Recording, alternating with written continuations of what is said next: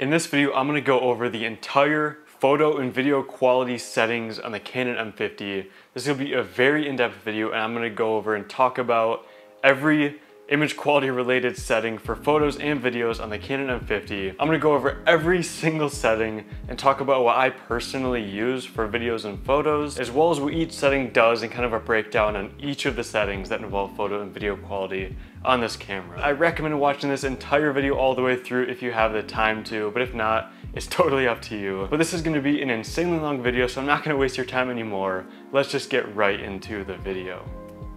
Alright, so let's dive right into the menu on the Canon M50. So first things first, of course, turn the camera on. And then with this dial right up here, make sure this is set to the M, which stands for manual mode, and that's gonna be photo mode.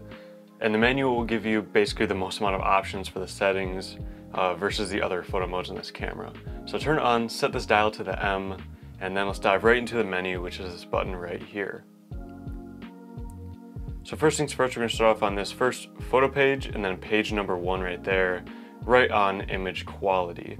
So image quality right here, you can choose between RAW, um, RAW, C-RAW, uh, nothing, which would be no RAW formats, and then JPEG right here between, you know, not taking any JPEGs, all the way between all of these different settings, uh, which is low, medium, S probably stands for superior or high or something. It's essentially the high mode.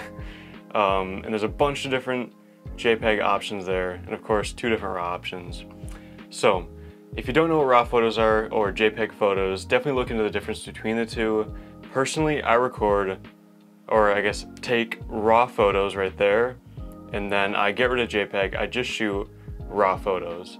And so the difference between RAW and C-RAW, C-RAW is essentially a lower um, file sized RAW mode, so it's going to be slightly lower quality probably realistically not noticeable, uh, noticeably lower. However, it's technically a lower quality RAW, which is going to be a smaller file size. So this is going to be your highest quality photos that you can get out of this camera right here, which is just this RAW format. So I personally just shoot in RAW. However, I'd recommend only shooting in RAW if you're going to 100% of the time take your photos from the camera, import them to your computer, edit them in something like Photoshop or Lightroom or any sort of image editing software. If you're not planning on editing your photos at all, you just want to take them in the camera and then send them to your phone or import them onto your computer, post them straight to social media or email them or text them, you know, something like that. If you're not planning on every single time putting your photos into an editing software, then I would recommend shooting JPEG in S2. Uh, it's gonna be the highest quality JPEGs. I really, Personally, unless you need to fit as many photos as you possibly can onto a smaller size SD card, I wouldn't bother with any of these lower quality JPEG modes. I would go straight up to S2 and just use that if you're gonna shoot JPEG. Um, but like I said, if you're always gonna plan on editing your photos and putting them in Lightroom and really doing a bunch of adjustments, I would just shoot RAW. Or if you really don't know what you're planning on doing, I would choose RAW as well as S2.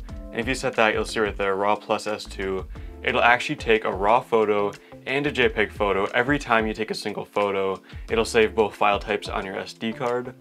Um, and so, you know, then you can either just use the JPEGs if you don't want to edit them, import those wherever you need to on your phone or laptop or whatever, and then, you know, delete the RAWs if you don't need them. Or if you do need them and you realize that afterwards, you can take the RAW files and, you know, edit those and everything you need to. So uh, that kind of took a while to go in depth on that, but long story short, I personally just shoot RAW because all the time I just edit my photos in Lightroom, uh, but you know, you can choose that essentially based on what you need.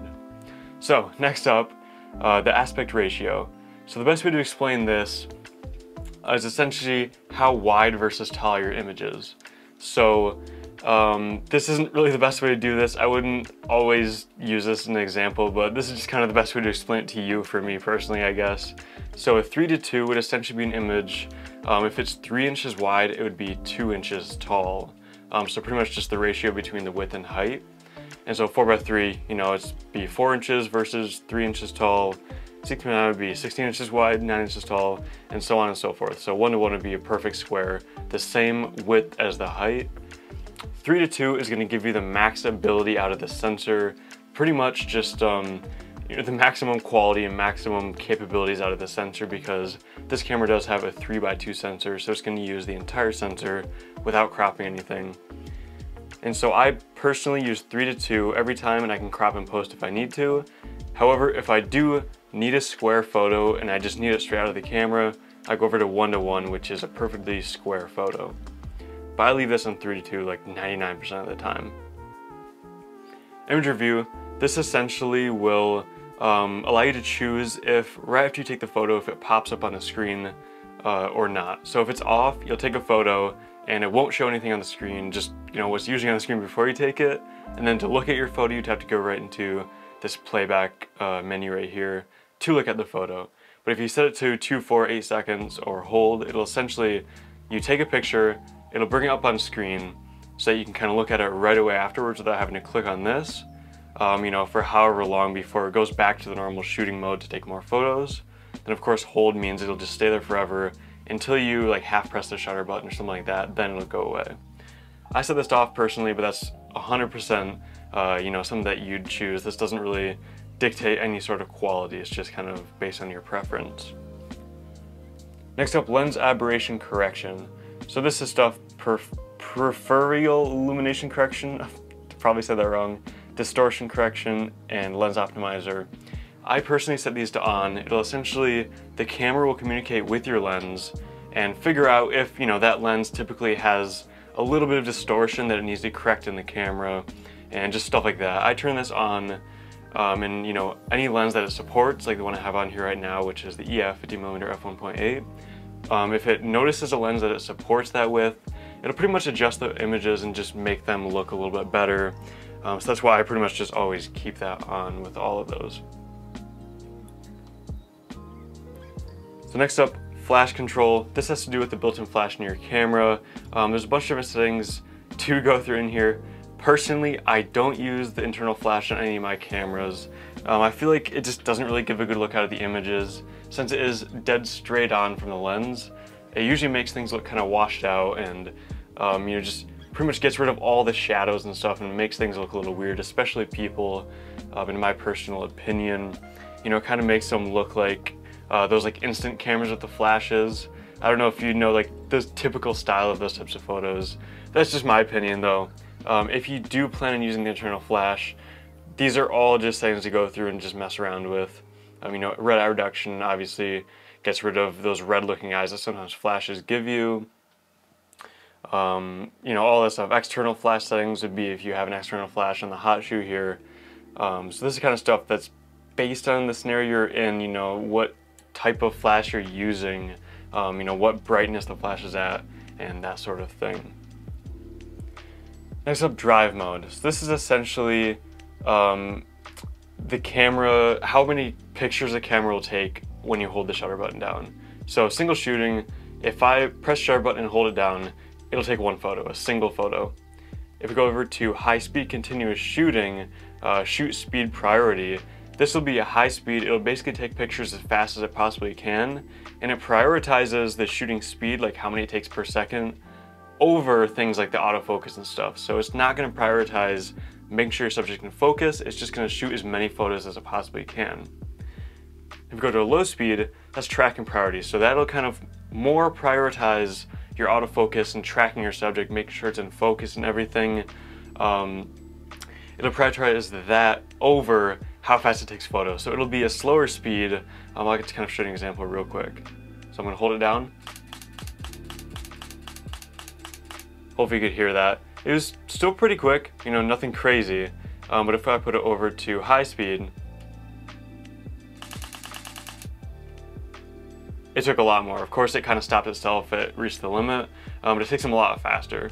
And then you, of course, have self-timers. That's pretty self-explanatory for 10 seconds, 2 seconds, and then continuous.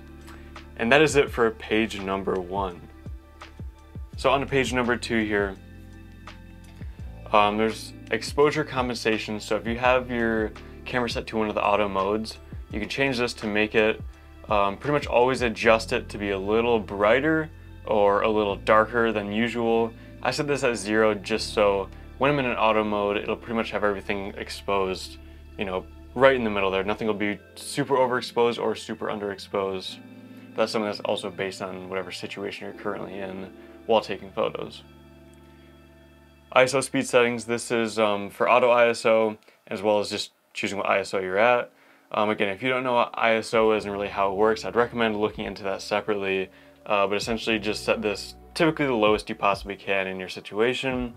And this sets the max ISO if you set it to auto mode, the maximum that it will allow the camera to go to before it stops. Because of course the higher your ISO is, the not the blurrier, the, um, the more grainy and noisy your images are going to be. Typically, the higher ISO, the lower quality your images will be. And this is ISO speed settings for video. It's pretty much the same thing, the max auto ISO for video mode, um, the same thing as that essentially. Then auto lighting optimizer. This essentially um, automatically adjusts the lighting in your photos um, to pretty much optimize it for every single photo you take for the situation you're in. Um, so it kind of does, it, it just does stuff for you essentially to, you know, optimize your exposure. Now, of course, right here it says this is disabled in manual exposure. Um, so if you're not in manual mode, you can, you know, set this to kind of adjust your highlights and shadows and make it look a little better um, depending on, you know, each picture you're taking. Personally, I don't really mess with this. However, if you do shoot in auto mode all the time and, you know, want to get a little better looking images that, you know, maybe look a little bit more neutral and less over underexposed, and you know, make everything look a little bit more flat and neutral, um, you can definitely try this out. There's three different settings, low, medium, and high. Um, but personally, I don't mess with that at all. Next up, highlight tone priority. As you can see down here, it improves grade gradation, gradation, and highlights to go back to it to avoid overexposure in bright subjects. So essentially, that's just what it says. It kind of helps preserve highlights in your photos um, so again, if you're not going to edit your photos and bring them into like Adobe Lightroom or something like that and do a bunch of adjustments, um, I would definitely recommend turning this on, you know, even just enabled or even enhanced. And it will kind of make your highlights look, look a little bit better. Sometimes when there's like a really harshly overexposed part in your photo, it'll really just look uh, not very good. It'll just be bright white and really harsh and just not look very good. This will help kind of smoothen that out and just make it look a little bit better. Alright, so on to page number three. Metering mode. So this is essentially if you're in an auto exposure mode, this will pretty much decide what the camera looks at to find the exposure for a specific shot. So evaluative metering will pretty much go over the entire screen to find the best exposure for it. Partial metering goes over partial, parts of the screen, not the entire thing, to kind of find you know where to exposed. Spot metering will look at a specific spot on the screen to decide where to expose to. And then center weighted average will pretty much find the center of the image and pretty much find the average exposure for that and that's how it will expose your photo for auto exposure. But in manual mode, this really won't do anything. Metering timer, this is essentially for the metering mode, um, but it pretty much, like it says here, choose the exposure value, shutter speed aperture, display period. So it's going to pretty much show how long it you know shows the specific settings when you're doing an automatic mode. In manual mode, this um, really doesn't do much either. Exposure simulation, I always enable this. This pretty much shows on the screen and everything um, the exact representation of the picture you're gonna take, um, you know, the brightness and darkness of that image that you're gonna take. I would always enable this. All right, on to page number four. White balance right here, this is gonna be the warmth or coolness essentially um, of your images. So I guess a good example of this, when you wake up really early in the morning, there's, you know, like the sun shining when the sun's rising. It's kind of like a cooler blue color.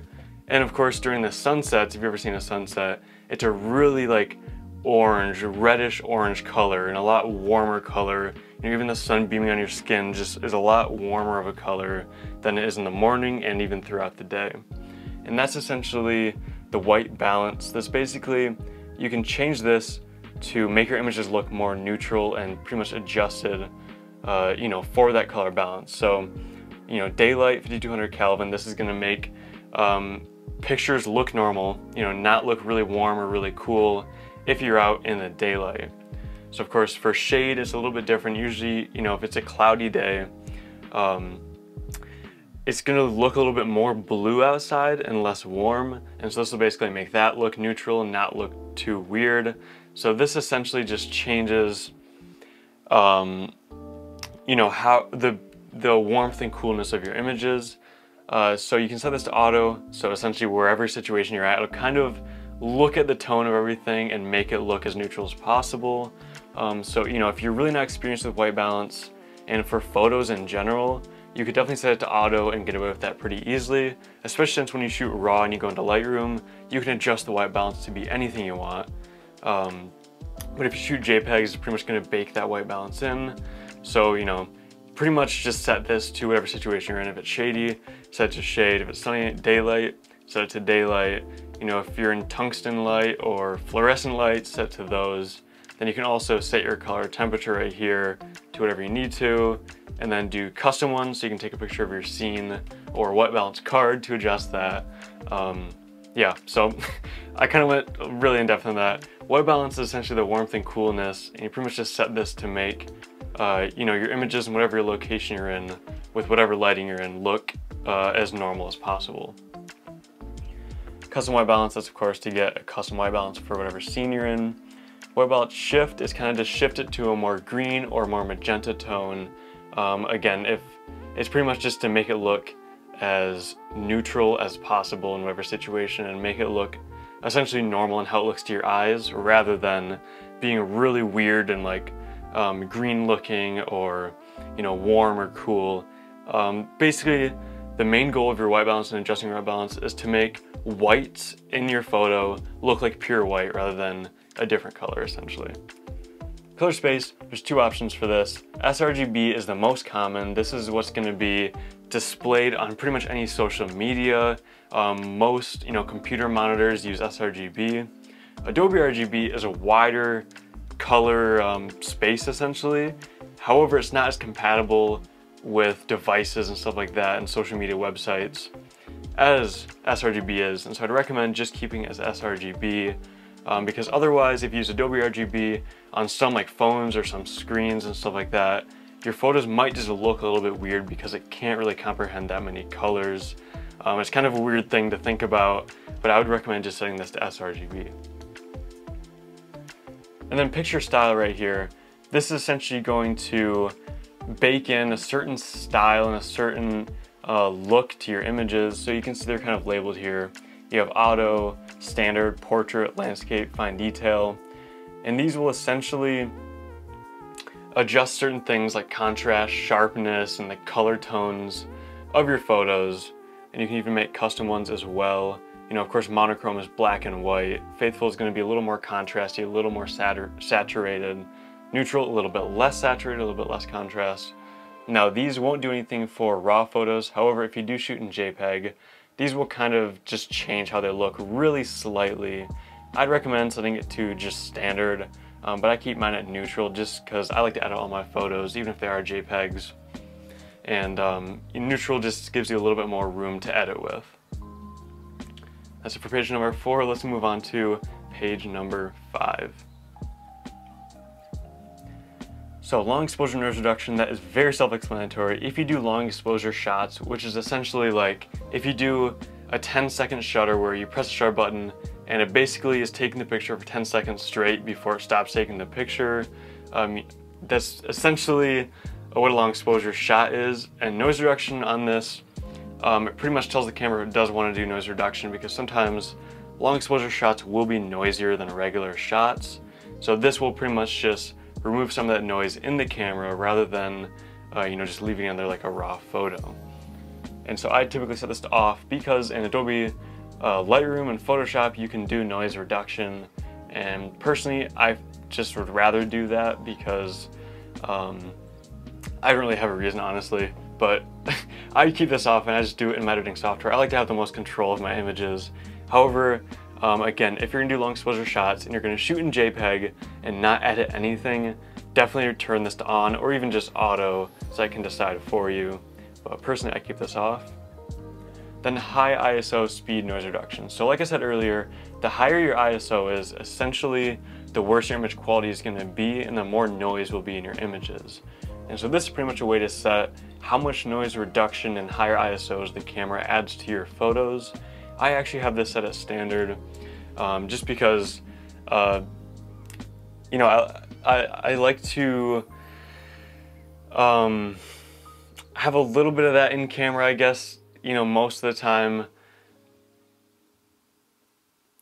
Um, you know, when I shoot JPEGs, when I shoot RAW, this doesn't do anything. It's, of course, a fully raw image. It won't have any noise reduction.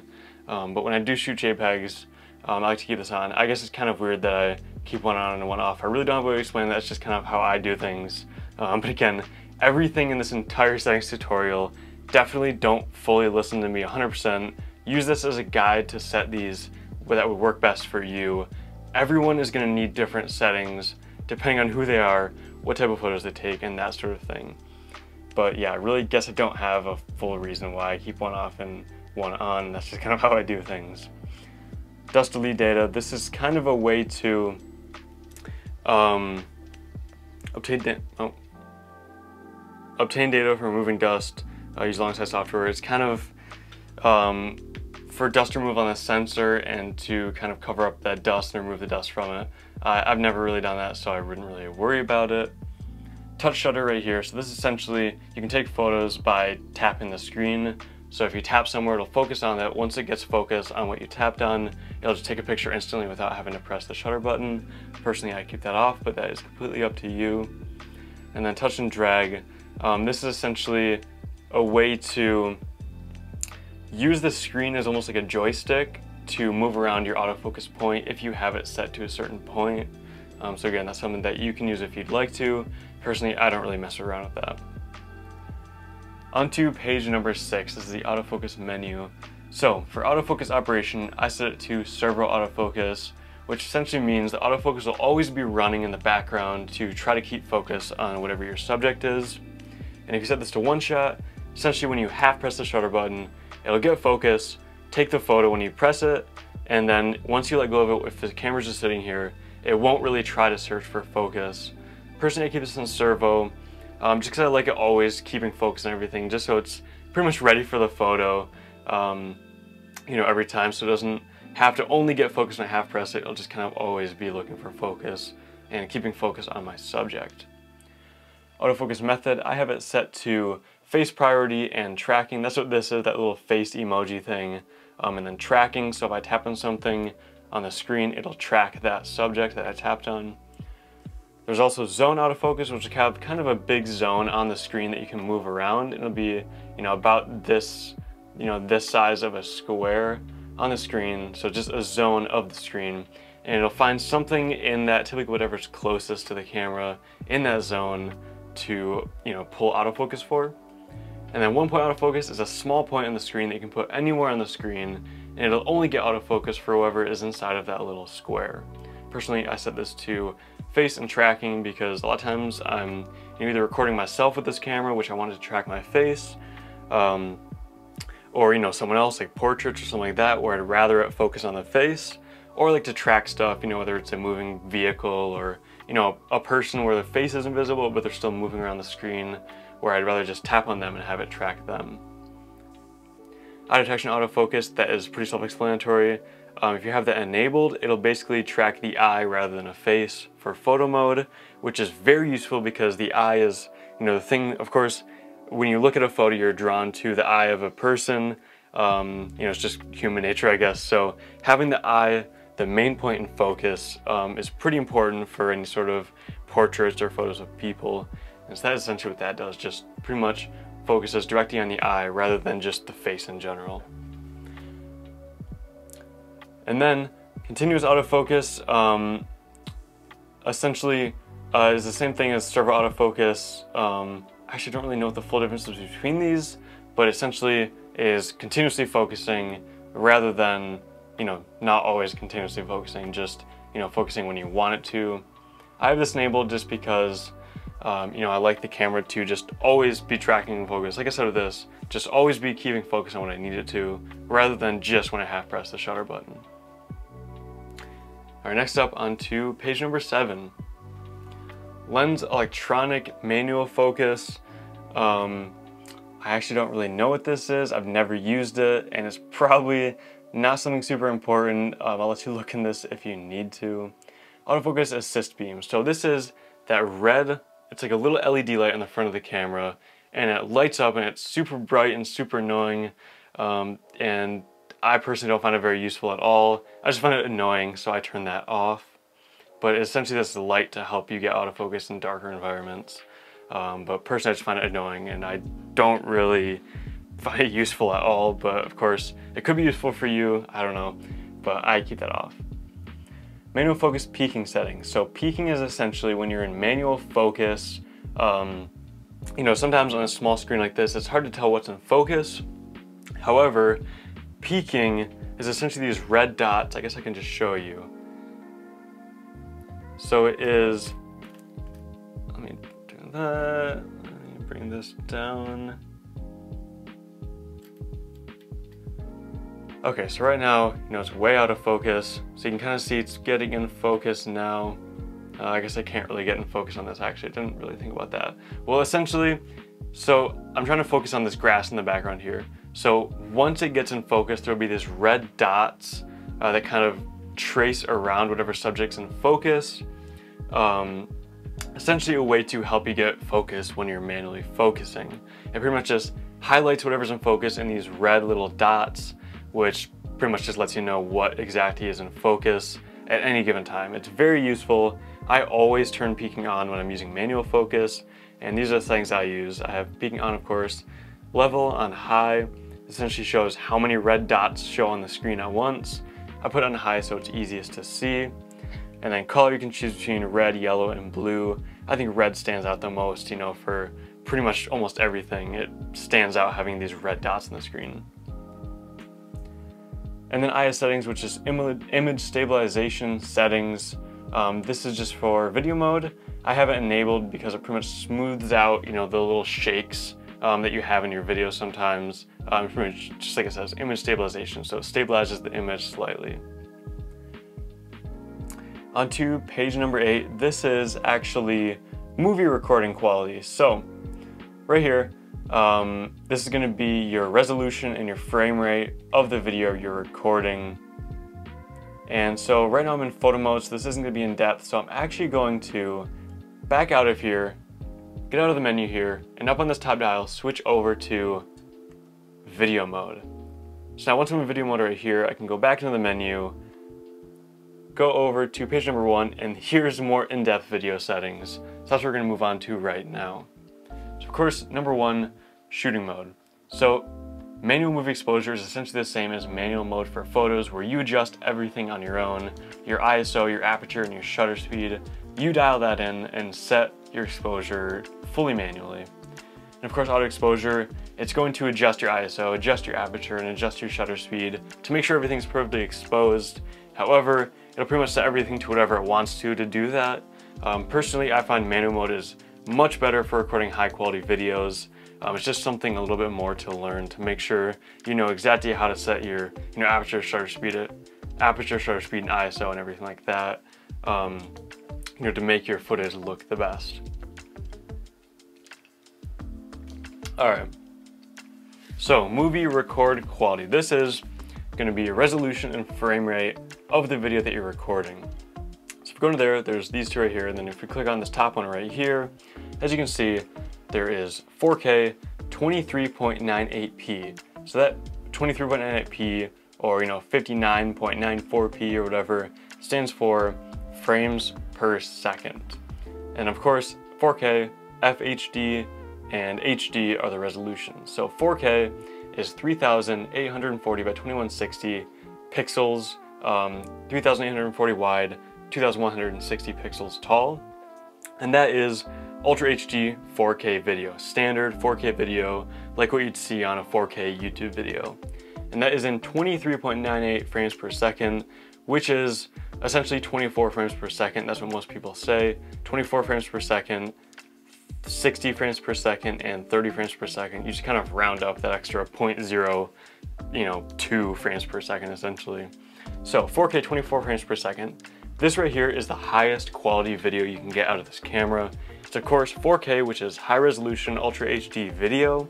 24 frames per second is a standard frame rate for regular motion video. So if you're not gonna be doing slow motion, if you just wanna record regular speed video, 4K 24 frames per second is the best possible quality.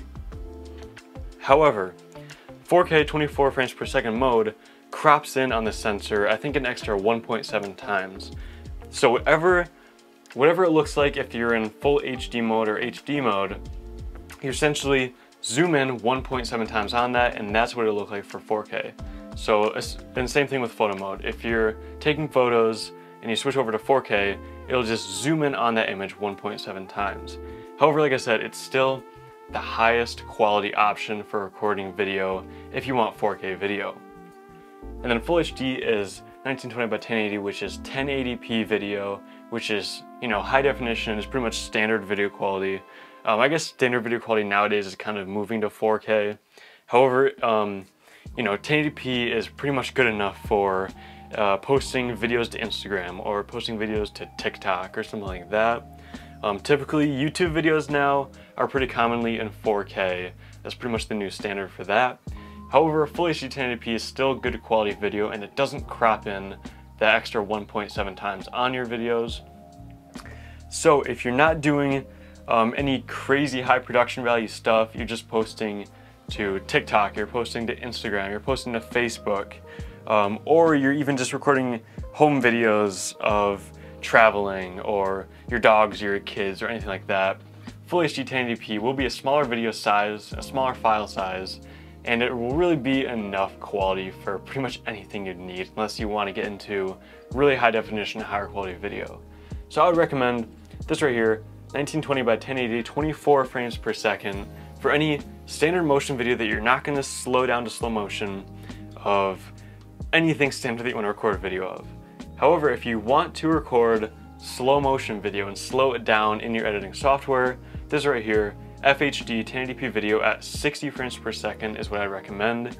You can slow it down by 50%, so you can slow it down to half speed, and it'll still look really smooth. It won't look jittery and weird like it would if you recorded 24 frames per second.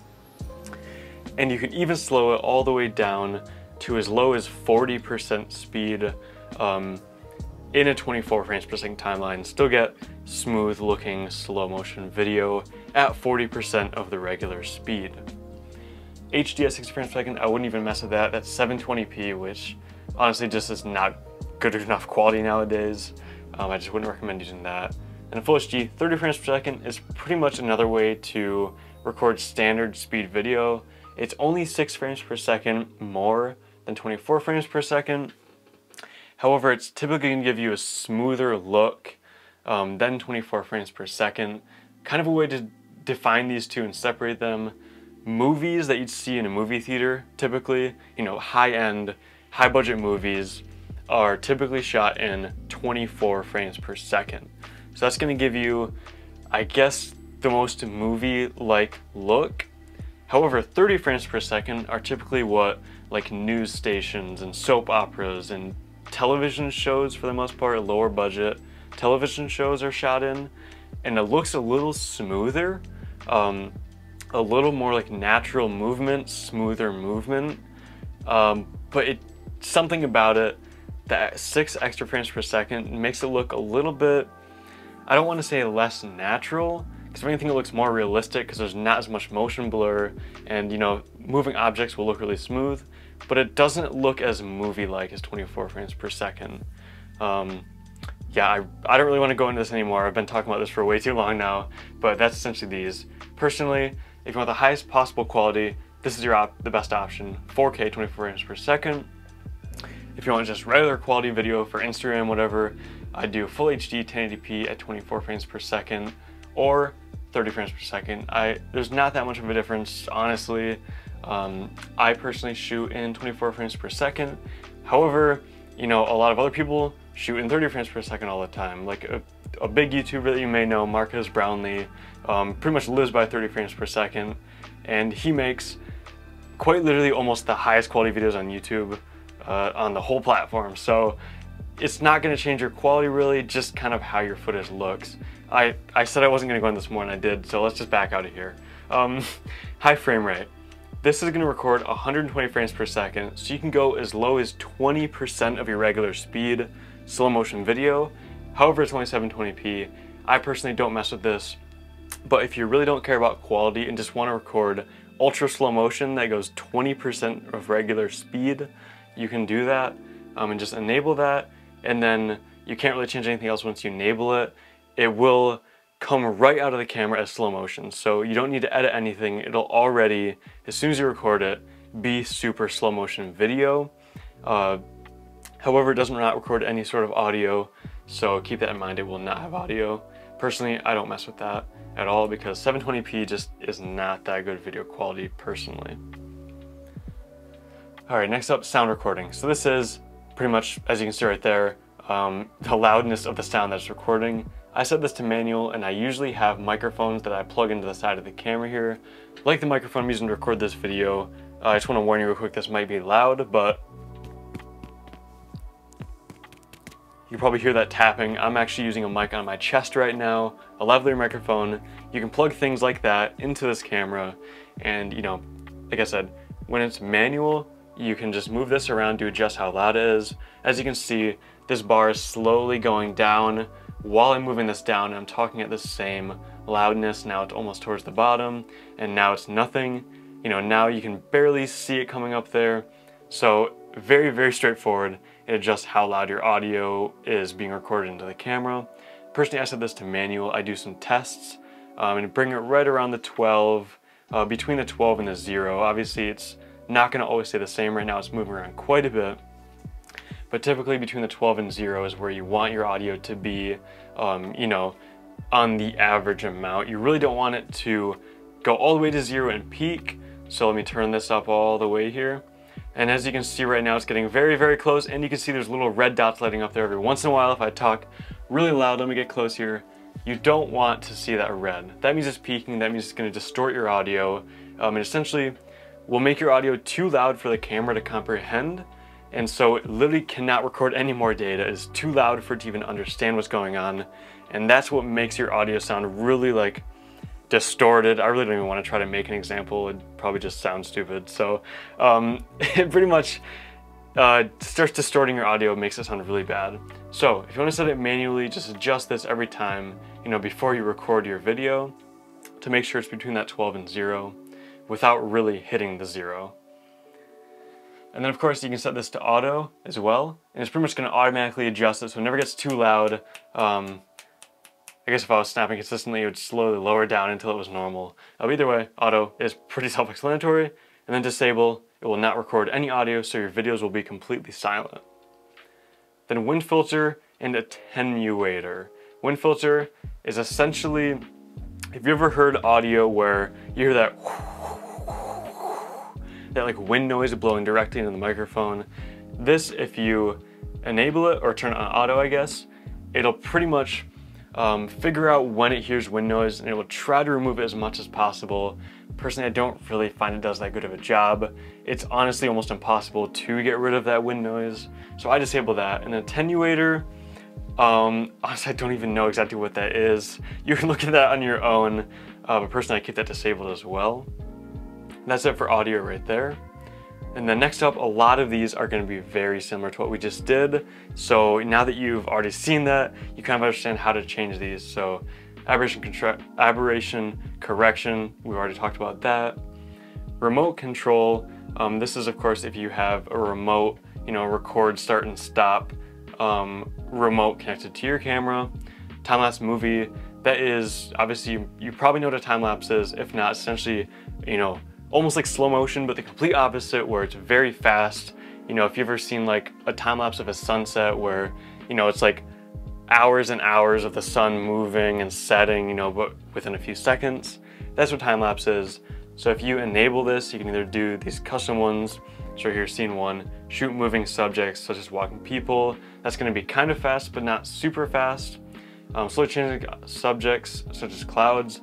It'll be a little more fast paced because of course clouds move really slow. So it compensates that by making it even more uh, fast paced or more, you know, of a fast moving video. And of course, you know, if you're doing slowly changing scene, scene three, that'll be even more fast paced. Or custom, where you can pretty much set um, right here how many seconds between it takes another picture, you know, anywhere from one all the way to, let's see what we can get to here. Anywhere from one to 30 seconds. So if it's one, every second it'll take a picture, and if it's 30, every 30 seconds it'll take a picture, and this is how many shots it will take before it's done. So all the way up to 900 shots, from 30 to 900. And this shows how long it'll be recording this video for. So right now if we do 30 seconds, 900 shots, this is the maximum possible. It will record this for seven and a half hours, and the final video will be 30 seconds long. So it will literally turn a seven and a half hour long thing, whatever you're recording, into a 30 second video. That's how fast it'll be. As you can see, all of this pretty much adjusts based on how many shots and interval seconds it is. And of course the size, 4K, Full HD. In 4K, it'll crop in kind of like it will in regular 4K shooting mode, so keep that in mind. Um, auto exposure, so if you have it in auto mode, um, you know, if your scene is getting darker or brighter, this will essentially either be fixed at the first frame, so when you take your first photo, it'll adjust it to be fully normally exposed, and then it'll keep that exact setting. So if it gets darker outside, it'll get darker in the camera, or if you do each frame, it'll make sure each time it takes a picture, it's fully regularly exposed. Now, if you want to do a sunset, you typically set to the fixed first frame because you want to show it getting darker outside. Um, you know, because of course that's the point of a sunset and it getting dark outside. If you do it for each frame, it'll kind of adjust every time it gets darker outside. It'll make it look a little brighter in camera and it can still get some good looking images. And if that's what you want to get out of it, it'll look good. However, you know, it's kind of something that you'd set depending on your situation. Screen auto off, you know, pretty much enabled or disabled. If it's enabled, the screen will automatically turn off and turn blank. If it's disabled, the screen will stay on the entire time. And yeah, that's it. Also, beep as image is taken. If you have sound turned on in the camera, you can set this enabled or disabled. So it'll essentially, if it's enabled, every single time it takes a picture for you know, however many hours you're doing this for, it'll beep. Um, personally, I would never even enable that in the first place. And that's it for time-lapse mode.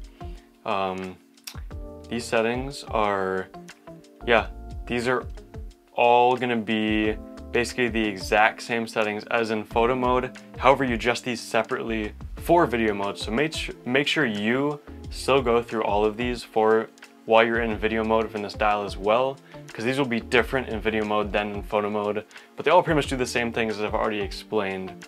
And that is it for these settings. Now there is these other menu pages over here. A lot of these are essentially more for personalizing your experience on the camera um, and stuff like that, not for the actual quality you're getting out of the videos and photos. Um, in this tutorial, as you can see, this video is already ridiculously long. Also, if you're watching this far, let me know in the comments because this is such a ridiculously long video. I really, really, really appreciate if you did make it to this point. But either way, yeah, all these other menus are essentially um, ways to set this camera up to best fit you personally, but they don't really change the quality of photos or videos that are coming out of the camera. And so because of that, that is the complete rundown on the entire quality settings in the M50 to get the best looking photos and videos out of this camera. This is exactly how I set it up and how I personally use it. And I've taken some awesome looking photos and videos out of this camera in the past. So um, yeah, that is it for this video. Thank you so much for watching. Please subscribe to my channel and like this video if you enjoyed it. And I will see you in the next one.